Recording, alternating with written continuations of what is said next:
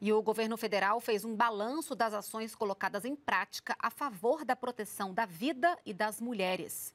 Foi numa cerimônia em Brasília, onde também foram lançados cursos para casais e famílias formadas por pessoas com doenças raras. A cerimônia Brasil pela Vida e pela Família foi realizada no Palácio do Planalto e contou com a presença do presidente Jair Bolsonaro.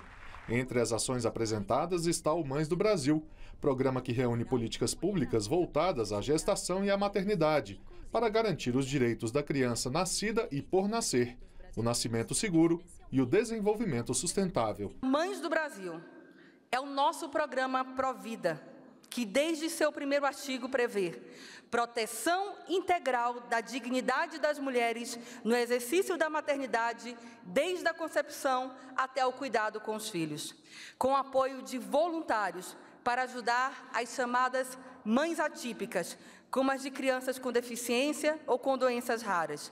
Temos um olhar especial para essas famílias. Ainda durante a cerimônia, o Ministério da Mulher, da Família e dos Direitos Humanos lançou dois cursos. O Casar é Legal para orientar os noivos sobre direitos e deveres em um casamento civil e o Famílias Raras e Mães Atípicas, que vai ajudar as famílias a enfrentar os desafios impostos por essa condição e informar sobre os direitos dos raros e de seus cuidadores.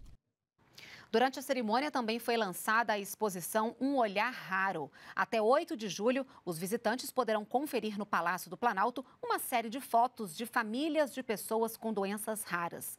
Os retratos têm formato de quebra-cabeça e são exibidos em 11 totens artísticos.